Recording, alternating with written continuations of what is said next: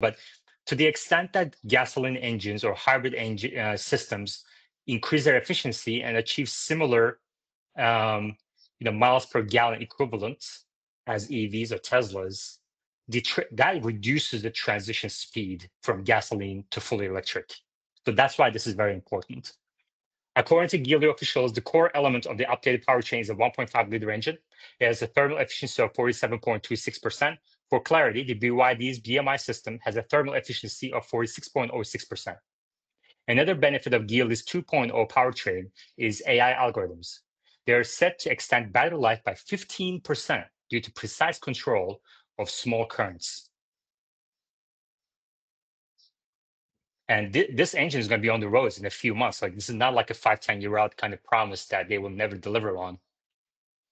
Cars with the Leishen AI Hybrid 2.0 system and a 1.5 liter naturally aspired engine will have EM-i badges